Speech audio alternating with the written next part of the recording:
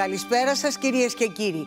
Αύριο Τρίτη, βροχές και καταιγίδες θα εκδηλωθούν στις περισσότερες περιοχές της χώρας μας. Ωστόσο, τα φαινόμενα θα είναι τοπικά έντονα στη Δυτική Ελλάδα και στη συνέχεια στη Μακεδονία. Οι άνεμοι θα πνέουν από νότιες διευθύνσεις 4 με 6 μποφόρ στο Ιόνιο το πρωί, τοπικά 7. Βαθμία στο Ιόνιο θα γίνουν βόρειο-δυτική μέχρι 6 μποφόρ.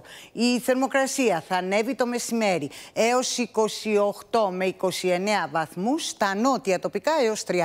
Στην Αττική θα έχουμε συννεφιά με βροχή καταιγίδα από το μεσημέρι και μετά. Το βράδυ τα φαινόμενα θα εξασθενήσουν. Άνεμοι νότιοι 4 με 6 μποφόρ και θερμοκρασία από 20 έως 29 βαθμούς. Στην περιοχή της Θεσσαλονίκης άστατος ο καιρός με βροχές κατά διαστήματα, κυρίως το μεσημέρι και το απόγευμα θα εκδηλωθεί παροδική καταιγίδα καταιγίδα.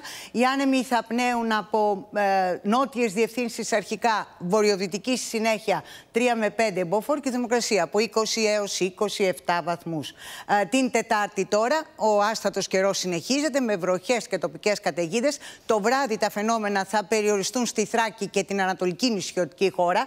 Ωστόσο, μέχρι το μεσημέρι θα είναι τοπικά έντονα τα φαινόμενα στην Ανατολική Μακεδονία, τη Θράκη και το βόρειο-ανατολικό Αιγαίο. Οι άνεμοι θα πνέουν από δυτικές κυρίως διευθύνσεις 4 με 5 και στο νότιο Ιόνιο. Τοπικά μέχρι 6 μποφόρ και η θερμοκρασία την Τετάρτη δεν φαίνεται να αλλάζει σημαντικά.